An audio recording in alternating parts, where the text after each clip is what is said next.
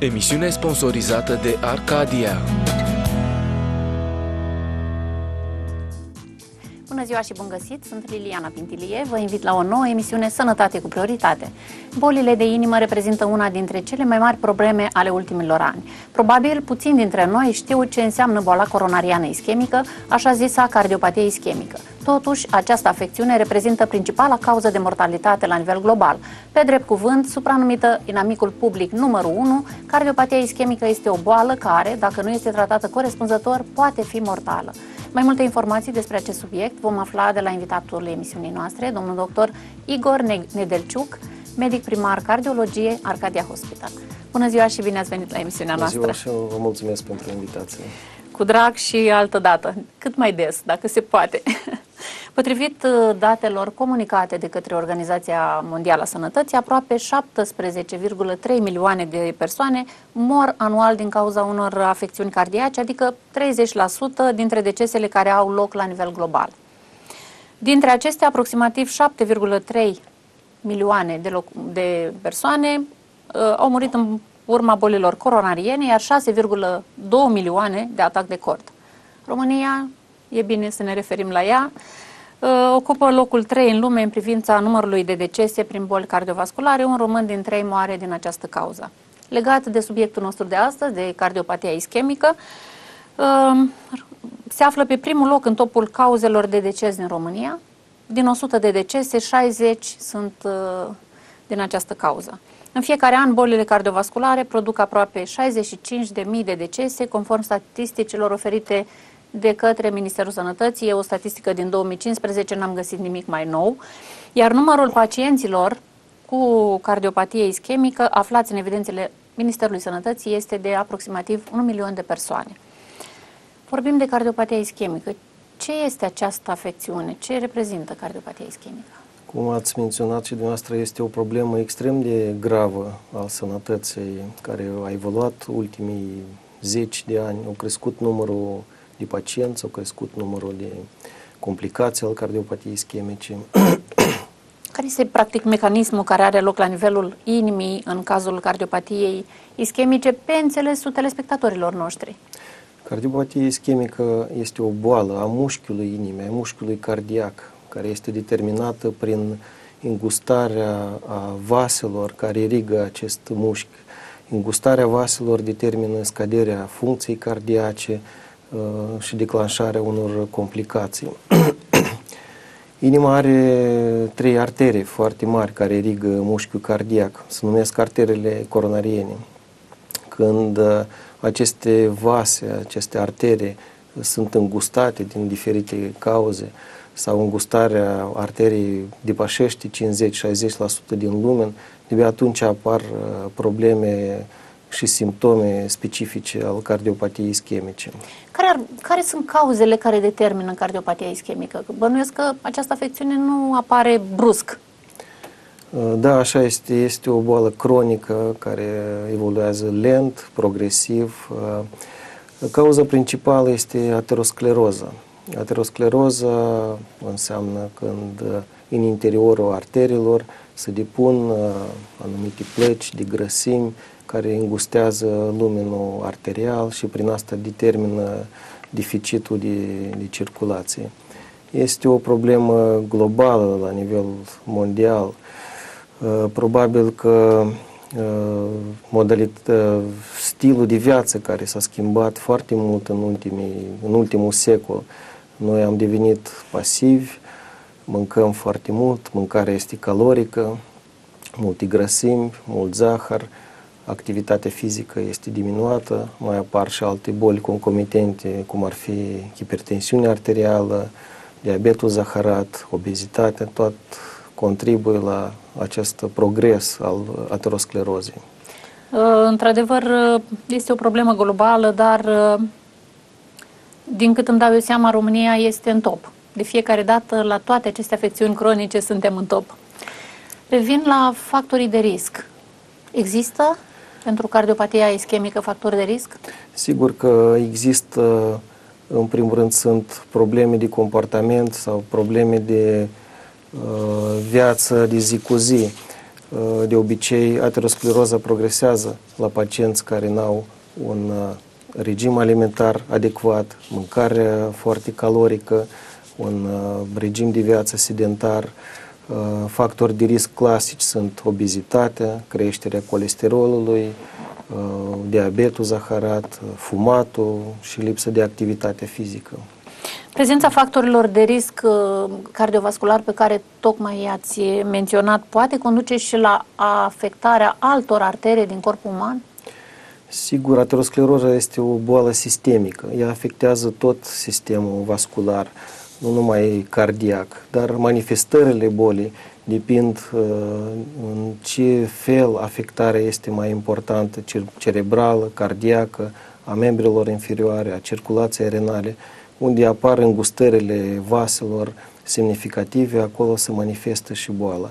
Dacă vorbim de cardiopatie ischemică, când arterele inimii sunt afectate semnificativ, când se îngustează lumenul interior al uh, arterelor, de atunci uh, pacienți devin simptomatici și apar uh, simptome specifice al bolii.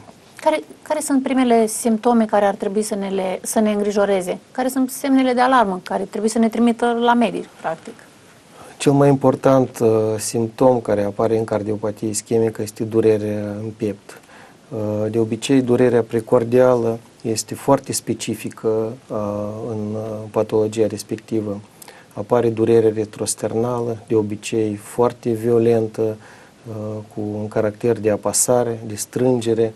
În prima fază, această durere este strict dependentă de efort fizic, rar când apare în repaus și foarte frecvent apare în timpul efortului fizic, când mm, pacienții merg mai repede, când urcă scările, apare sentimentul ăsta de strângere în piept, de, care, gheară. de gheară, care le obligă să facă o pauză și această pauză ameliorează simptomele și durerea trece. Deci este un simptom foarte specific care apare aproape la tot, toți pacienții. Deci în momentul în care apare o durere sub formă de gheară intensă, este clar că trebuie să mergem la medic și să nu o ignorăm. Chiar dacă pacienții se opresc și se calmează durerea, cred că n-ar trebui să rămână acasă. Asta da, e... este important pentru că boala are tendință să progreseze și să progreseze repede, în luni de zile uh, și în momentul când apar primele simptome, uh, boala poate fi tratată, simptomele pot fi ameliorate și prognosticul poate fi îmbunătățit. Timpul scurs de la debutul bolii joacă vreun rol în uh, tratamentul anginei pectorale? Sigur, la simptomele care apar rar, când toleranța de efort este mare și pacient și durerea în piept apare numai la eforturi mari, uh, simptomele pot fi ameliorate numai cu tratament medicamentos uh, și nu sunt necesare alte explorări foarte complexe sau alte intervenții. Dar când simptomele de durere în piept sunt uh, în faza avansată, când apar frecvent, când toleranța de efort scade, este un semn că boala va progresa în, într-un timp foarte scurt și nu trebuie pierdut acest timp prețios când încă se poate să mai trata, poate face să ceva. mai poate face ceva. Cum, cum putem deosebi durerea din cardiopatia ischemică, din agina pectorală, de cea de, din infarctul de miocard, pentru a putea totuși acționa în timp util? Da, durerea într-adevăr are un caracter asemănător, numai că în infart miocardic durerea durează foarte mult și nu mai trece. Dacă în cardiopatie ischemică sau în angina pectorală, într-o fază moderată, durerea dispare la oprirea efortului fizic sau dispare la administrarea de nitroglicerină, în infart acut, durerea este continuă, nu trece, ține mai mult de jumătate de oră, continuă și deja prezintă o urgență majoră încât este necesar uh, apelarea serviciilor de urgență pentru internare. Deci, practic, ca să fie mai clar pentru telespectatorii noștri, ce ar trebui să facă un pacient în cazul apariției unei dureri precordiale? Care sunt pașii pe care ar trebui să urmeze în acest uh, caz? Dacă durerea precordială este acută, este violentă, puternică și nu cedează într-un timp de un sfert de oră, jumătate de oră, trebuie apelat serviciu de urgență. Uh, din păcate, pacienții pierd foarte mult timp în perioada asta, că intră în panică, vorbesc cu vecinii, sunt prietenii, caută un alt număr de telefon a unui doctor ca să apeleze și uh, tot asta este o pierdere de timp, deci ar trebui prețioasă. să apeleze foarte prețioasă. Trebuie apelat un serviciu de urgență și uh, spitalizat. Oricum, la spital această absolut orice afecțiune este tratată corespunzător și cred că înainte de a căuta numărul oricărui medic ar trebui să apelăm 112.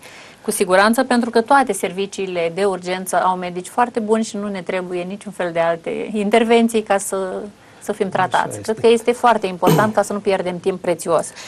Pe de altă parte, aș vrea să menționez că durerea toracică Uh, are, o cauze, are cauze multiple. Nu neapărat toate durerile din piept sunt de origine cardiacă. Uh, foarte frecvent, cred că toată lumea a mai avut câte un junct toracic, câte o înțepătură în zona Acel, precordială. Acele nevralgii intercostale, nevralgii, cum le spunem noi. Uh, uh, și statistic vorbind, uh, adresabilitatea la un cabinet de consultație de cardiologie per primum 60% din pacienți în realitate nu au o afecțiune cardiacă, dar au o durere toracică din, de altă cauză. Uh, de obicei uh, apar din uh, cauze reumatice, nevralgice, din probleme de coloană, dar aceste tipuri de dureri sunt foarte scurte, de scurtă durată, nu prezintă un pericol de viață, Uh, și nu ar trebui să intrat în panică din acest. Dar adresabilitatea la un medic este importantă. Deci doctorul cel este cel care ar trebui să uh, lămurească pacientul dacă este o durere realmente cardiacă care necesită o atitudine specială sau este o durere nevralgică care poate fi tratată mai simplu.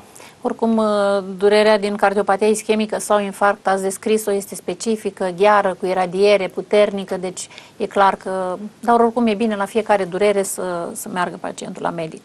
Care sunt pașii din spital pentru diagnosticarea cardiopatiei ischemice sau uh, Există un set de investigațiile clasice care se fac în cardiopatie ischemică. În primul rând este o electrocardiogramă clasică, care arată funcția cardiacă, activitatea electrică al inimii, poate determina dacă au, au fost evenimente cardiace sau un infart uh, vechi sau nu, dar uneori în uh, fazele incipiente al bolii, electrocardiograma nu reflectă nimic și este normală.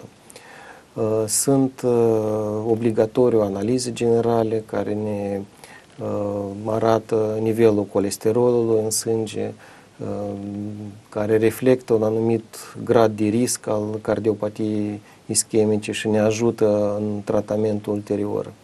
Ecografia ne ajută de a determina funcția cardiacă, uh, contractilitatea inimii, dacă sunt probleme legate de valve, de altă patologie și într-un final o probă de efort funcțională este foarte importantă în a pune un diagnostic corect. Când uh, în timpul testului de efort uh, uh, inima este pusă într-o sarcină, de atunci să pună în evidență anumite patologii ascunse. Și când testul de efort devine pozitiv, cu dureri specifice în timpul probei de efort sau modificărilor pe electrocardiogramă, Asta deja înseamnă că există o problemă ascunsă și este necesar un, uh, o altă investigație mai complexă de tip uh, coronarografie pentru a vizualiza exact circulația cardiacă.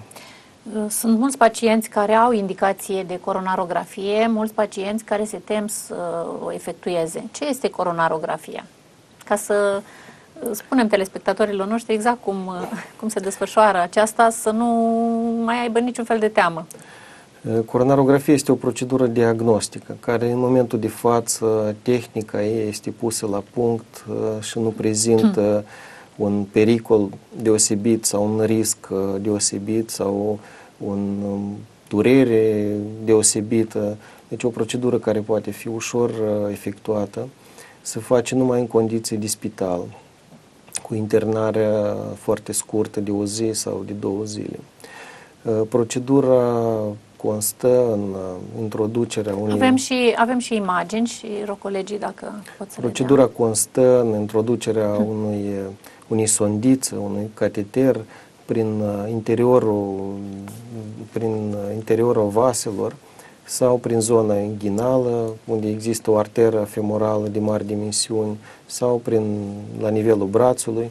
Această sondiță se, intro, se introduce numai cu anestezia locală, pacientul nu simte deci nu este dureroasă? Nu este dureroasă. Asta e teama pacienților. Deci nu există o, o durere care trebuie calmată sau trebuie administrat un medicament. Deci este un mic deraj la nivelul cum se pune o flexulă pentru o perfuzie, cam uh, același uh, sentiment are și pacientul.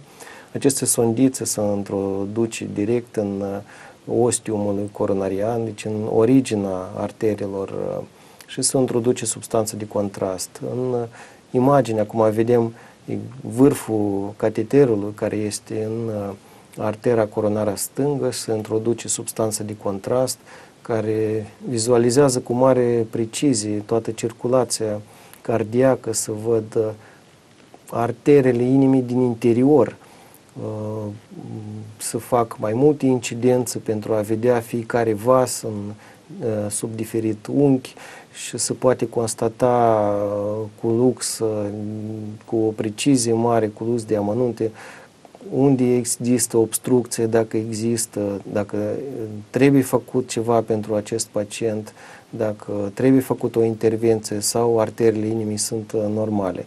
În acest caz, cum, uh, uh, cum vedeți pe ecran, așa arată arterele inimii în normalitate, care nu sunt obstrucționate și se vede că circulația cardiacă nu este obstrucționată. Deci sunt permeabile, sunt vase permeabile. Avem și altă imagine? Avem uh, și alte imagini pentru comparație, cam cum ar arăta, cum arată arterele inimii când sunt, uh, când boala este într-o fază foarte avansată. Deci, privind complicațiile cardiopatiei, când da. deja avem uh, o fază mai avansată, din avem un filmuleț și din uh, de această categorie. Din păcate, boala, boala asta cam așa arată într-o fază avansată, de fapt în majoritatea pacienților hmm. care ajung în într-o fază foarte greu de tratat. Deci dacă prin comparație cu imaginile anterioare se vede și cu ochiul liber cum uh, circulația la nivelul inimii este blocată și o zonă importantă a mușchiului cardiac nu mai, nu mai primește sânge pentru funcția cardiacă adecvată. Și imaginea următoare este o altă uh, o arteră coronariană, o arteră coronară stângă, care este blocată în mai multe locuri, în mai multe vase care sunt eh, infundate complet. Eh, deci sunt cazuri eh, disperate la care nici din punct de vedere tehnic nu putem, nu reușim să refacem circulația la normalitate. Deci e foarte important încât pacienții să se adreseze unui medic uh, de familie, un medic specialist uh, la debutul bolii, încât să nu ajungem la această situație disperată. Practic, la începutul acestor dureri precordiale, astea sunt primele semne care apar uh, într-o afecțiune coronariană. Eu sunt cam moș în roată. Ce simt pacienții în timpul unei coronarografii? Pe lângă acea înțepătură care spuneați că nu e decât strict o injecție. Așa este. În, când se introduce cateterul până la originea arterelor inimii, pacientul nu simte absolut nimic, pentru că în interiorul vaselor nu există receptori dureros, nu a fost imaginat de... Deci nu doare în momentul în care exact, intră pe exact, traiectul venos. Da. Dar în timpul introducerii substanței de contrast există un uh, un sentiment de căldură ușoară în, în piept, dar foarte, foarte de scurtă durată, e vorba de 10-15 secunde. Care este momentul sau care categorie de pacienți uh, au indicație pentru coronarografie, că bănuiesc că nu toți. Da, indicația de coronarografie se pune de către medicul specialist. De obicei, când boala cardiacă este într-o fază moderată spre avansată, când nu există un răspuns adecvat la un tratament medicamentos. Dar în, pe înțelesul simplu, când pacientul este, cu cât pacientul este mai simptomatic, cu cât simptomele de dureri în piept, cu cât toleranța de efort este mai mică, cu atât trebuie să ajungă mai repede spre această investigație. Și invers, când uh, simptomele sunt uh, rare, când uh, pacienții au o capacitate normală de efort, când tratamentul are un medicamentos are un efect bun și pacienții își desfășoară activitatea lor normală, atunci putem urmări uh, și amâna această procedură. Odată diagnosticată cardiopatia ischemică, care este tratamentul care se impune? Uh, sigur, există tratament medicamentos care este obligatoriu pentru pacienți. Acest tratament previne progresia bolii, nu o tratează, nu o vindică, dar uh, uh, previne complicațiile lor.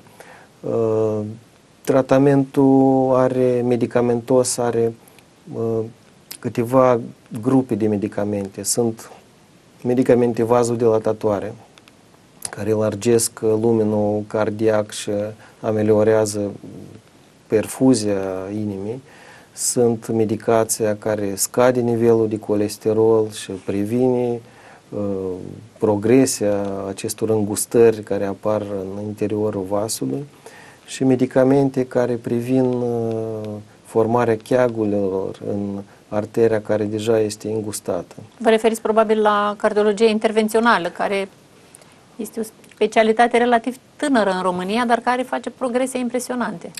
Așa este, este un, un domeniu relativ tânăr în ultimii 20-30 de ani și în lume, dar în România în ultimele 20 de ani a fost uh, o explozie și s-a, s-a văzut uh, în, pe, și pe termen lung și pe rezultatul, uh, mă refer ca și uh, tratamentul adecvat al bolii, ca și ameliorarea simptomelor și au chiar a durat vieții în unele cazuri. Practic, numărul procedurilor de revascularizare invazivă a crescut continuu, depășind uh, numărul de intervenții chirurgicale pe cor deschis în uh, ultimii ani. Indicația pentru a avea un anumit tip de tratament uh, se pune strict pe coronarografie.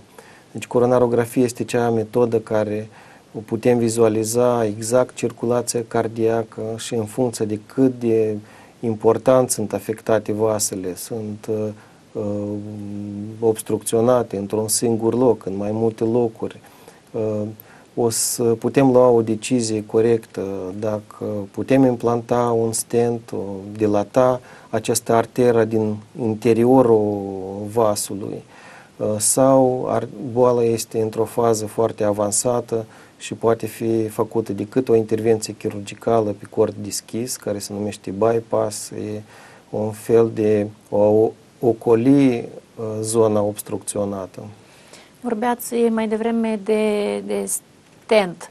Avem și noi o imagine cu acest stent. Uh, ce este, de fapt, acest dispozitiv implantabil?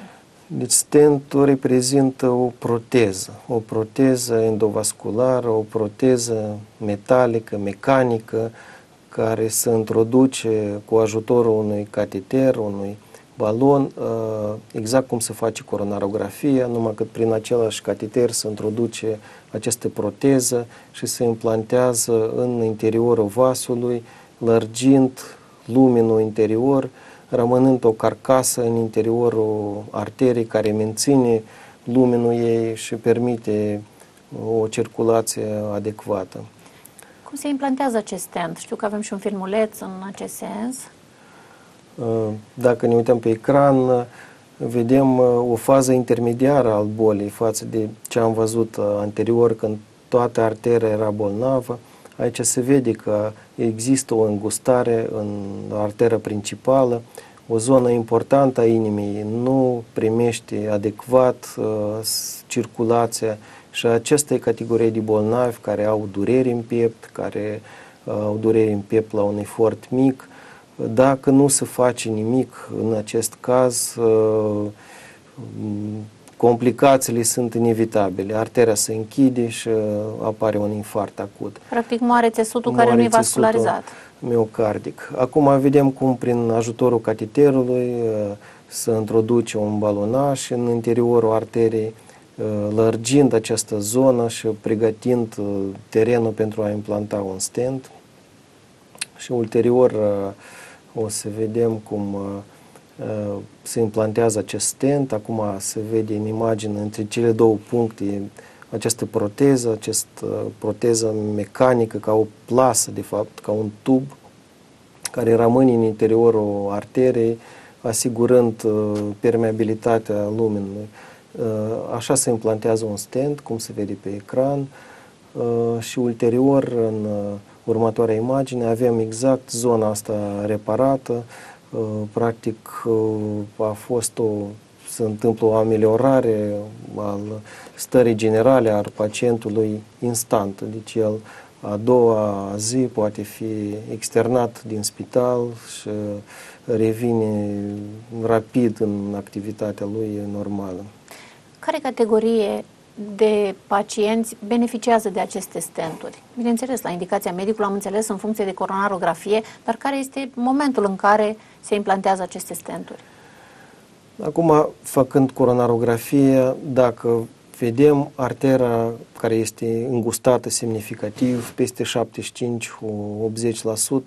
deja există indicație de a implanta uh, proteză. Dacă există concomitent și uh, simptomele clinice uh, specifice al anginii și tehnic poate fi implantată proteza, ne trebuie făcută această intervenție, tocmai pentru a preveni complicațiile majore care pot apărea în viitor. Deci, practic, este o procedură programabilă. În cazuri care nu sunt urgență, care nu este un infart acut cu durere continuă, este o procedură programabilă. Apropo de infart, n-aș vrea să, chiar dacă nu e neapărat tema emisiunii de astăzi, dar aș vrea să, să ne precizați care este timpul optim uh, prin care se știm sigur că acel infart nu evoluează spre niște complicații care să nu mai care să nu fie de bine. Infart uh, înseamnă când artera inimii care irigă mușchiul inimii este închisă acut. Mă, mă gândeam la timpul acela în care trebuie să, să vină un pacient, timp optim, în care să ajungă un pacient la medic. Când uh, se închide o arteră acut, simptomele apar instant. Uh, apare o durere violentă care nu trece cu medicamente, nu trece cu calmante, nu trece cu nitroglicerină uh, și durerea înseamnă pierderea țesutului viu. Pacientul trebuie să apeleze cât se poate de repede la un serviciu de urgență și ar trebui internat un serviciu specializat unde poate fi făcută această intervenție. Intervenția constă în deschiderea mecanică a vasului. Cum ați văzut uh, în imagini, implantarea unui stent la un pacient când circulația încă este prezentă, același lucru se face în infart, uh, când se largește artera și să-și revine circulația la normal. Dar timpul este extrem, extrem de prețios. Uh, cu cât vas, artera este închisă mult, mai mult timp, cu atât moare țesut miocardic nerecuperabil. Uh, dacă intervenția este efectuată în prima oră, miocardul, mușchiul cardiac se recuperează aproape în totalitate, dar cu cât timpul trece, recuperarea asta devine tot mai mică și după 12 ore aproape că nu mai există șansă că mușchiul inimii, chiar dacă intervenția este făcută corect, să reface circulația cardiacă, dar mușchiul miocardul, mușchiul inimii nu mai revine la activitatea normală. Aveți foarte multe cazuri, asta faceți în fiecare zi. Sunt pacienți care ajung într-o oră? Extrem, extrem de rar. Uh, chiar și pacienții din Iași care fac uh, infart miocardic acut uh, ajung în mediu cam la 4 ore. Mult, Pentru nu? că mult, foarte mult. Durează foarte mult până pacientul se decide și dă un telefon la salvare. Timpul ăsta, noi am făcut uh, anumite calcule statistice, durează în mediu câteva ore. Până, vă spun că pacientul preferă să dea telefon la cunoștință, la rude, să mai întrebe ce au pățit vecinului, cum a făcut, ce medicamente au luat, decât uh, tratează ca o răceală, mai bea un ceai Păcat. Uh, și timpul să se pierde. Aș reveni la stenturi. Știu că în ultima perioadă au, au apărut acele stenturi bioresorbabile, o nouă etapă, practic, în cardiologia intervențională. Care este noutatea în implantarea acestor stenturi? Cu ce vin, ce aduc nou? Ca să ajungem la stenturi biodegradabile, o să vă spun cam cum au evoluat lucrurile în cardiologie intervențională. Inițial, în anii 80, se făceau cam aceleași proceduri, numai cu balon, dilatând artera inimii, fără să implanteze nimic. Dar s-a constatat că rezultatul a fost uh, prost la o distanță scurtă. Artera se înfunda din nou și din nou în scurt timp apăreau simptomele specifice. Ulterior, uh, prin anii 80, s-au inventat stenturile simple.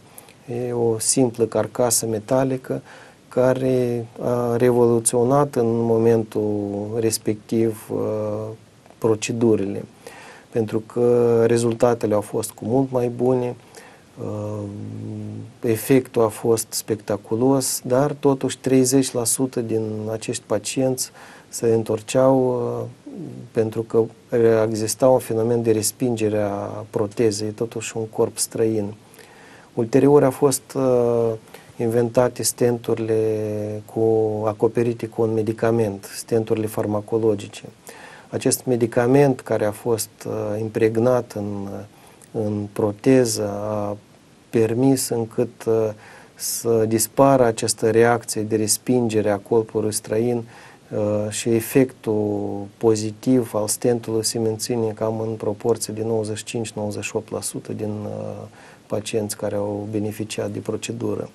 Dar a venit o nouă etapă în cardiologie și sperăm cu toții, am așteptat mult acest tip de proteză, de stent, care nu mai este un stent metalic, este un uh, proteză care e făcută dintr-un tip de polimer, o substanță specială, un fel de plastic, uh, dar uh, e o compoziție extrem de complexă, care se topește în timp și se resoarbe și atunci ajungem la o proteză implantată care vindică artera bolnavă și în timp această proteză să dispare din corp, să topește, cum să topesc firele chirurgicale rezorbabile. Da, e un mare pas înainte, dar întrebarea este, bănuiesc că sunt destul de scumpe. Se, practic se implantează astfel de stenturi în spitalele din România? Așa este, este ca orice noutate în domeniul medical, este o invenție scumpă, dar în ultimul an prețul lor a coborât foarte mult, cred că s-au înjumătățit.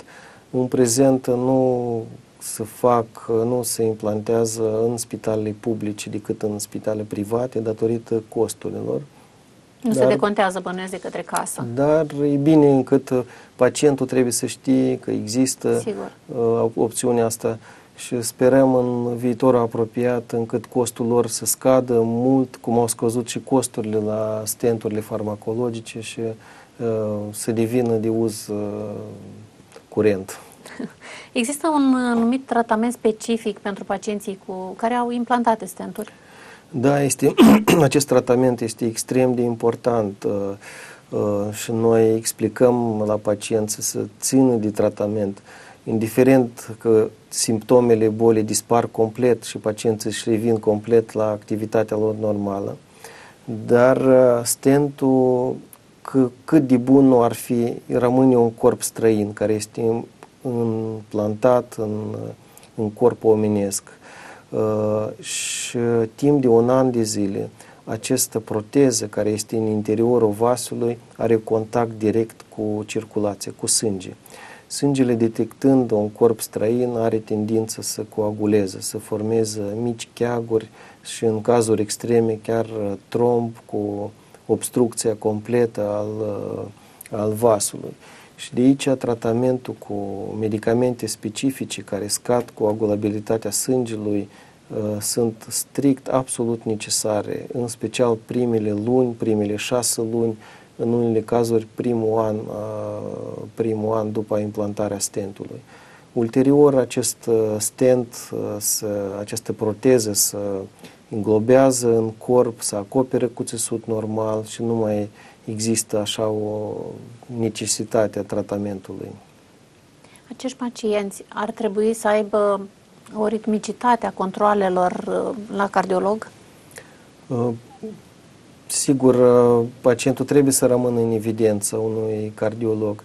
De obicei, după implantarea unui stent, cerem încât pacientul să fie văzut la o lună după implantare, la 3 luni, la 6 luni și la 12 luni. Sunt controle absolut necesare pentru a fi sigur uh, că lucrurile au mers cum trebuie, că pacientul tolerează bine tratamentul și nu sunt alte probleme care pot apărea. Cred că e foarte important ca ei să înțeleagă că trebuie să urmeze tratamentul și aceste controle să fie efectuate la timp pentru a avea o viață cât de cât uh, normală. De fapt, care este regimul de viață a unui pacient cu cardiopatie ischemică? În special, uh, pacienții ar trebui să revadă complet stilul lor uh, de viață. Regimul alimentar este extrem de important, capacitatea lor de efort și efectuarea unui efort fizic zilnic este extrem de important. Dacă acum, cu mulți, mulți ani în urmă, uh, aceste boli erau tratate la pat, pacientul trebuie să stea, să nu facă efort fizic, să evită orice mișcare susținută. Acum uh, conceptul este complet invers. Pacientul trebuie să facă efort, dar efort dozat, uh, după un, o discuție cu medic, ar trebui să stabilească cât de cât, care sunt capacitățile lui ce are voie și ce nu are voie să facă, dar efort fizic zilnic, mers pe jos, făcut gimnastică, uh, este absolut necesar pentru fiecare pacient. După uh, experiența pe care o aveți, când considerați că ar trebui să înceapă educația pentru sănătate pentru a preveni astfel de afecțiuni coronariene? Educația și în general cardiace. Este importantă pentru toți, uh, în special mass media are un Uh, un rol important încât în educația pacientului, că trebuie să aibă un mod de viață sănătos, să nu facă abuzuri de alcool, de fumat, să controleze greutatea corporală, să țină un regim fizic și alimentar adecvat. Uh, totul asta este prin, printr-o educație continuă. Uh, Care să începem când? Cred că aici e important. Să începem din anii frage de tinereță, pentru că când la noi, din păcate, ajung pacienți într-o fază avansată, dar important este să prevenim uh, aceste boli printr-un alt stil de viață. Din păcate, obezitatea la copii este într-o creștere continuă și cred că copiii obezi sunt viitorii coronaropați de vi- din viitor. Din păcate. Dar să sperăm că putem să este, facem prin... mai mult în timp decât am făcut până acum. Pentru că eu consider că ar trebui început uh, educația pentru sănătatea părinților pentru a putea să ajungem. Uh, e un efort comun să, al societății. Să ceva pentru, pentru... Exact. Uh, ca și concluzie, mai avem un minut. Aș vrea să vă rog să spuneți să dați câteva sfaturi pacienților cu cardiopatie ischemică, care considerați că sunt cele mai importante pentru a le, a le face bine și a nu ajunge la complicații. Deci, în primul rând, un pacient care are durere toracică, care este violentă sau uh, îi scade capacitatea de efort, să se adreseze la medicul de familie și în special medicul de familie indică dacă este necesar un consult de specialitate.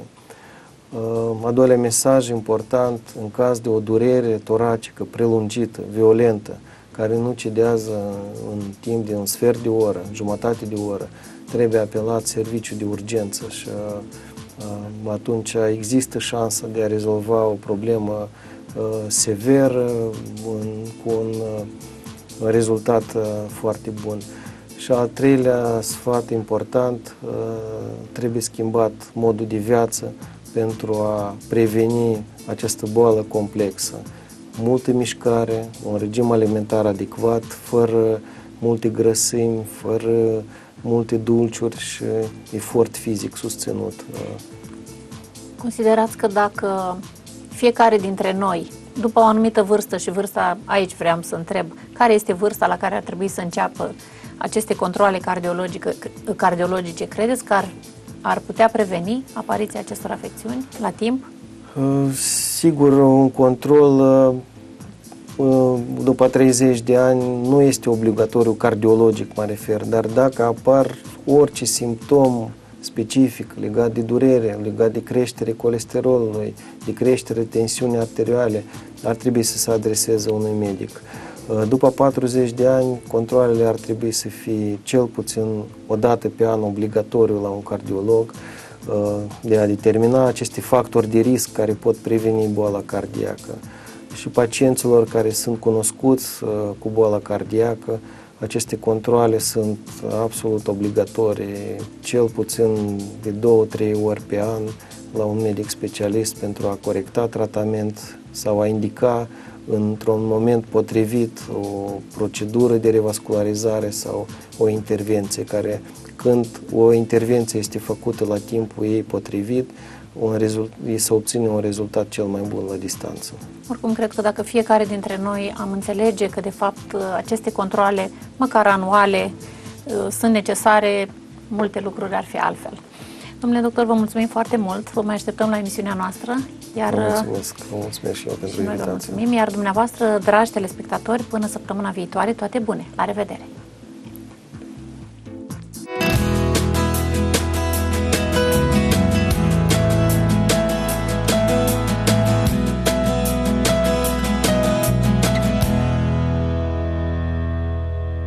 Emisiunea sponsorizată de Arcadia.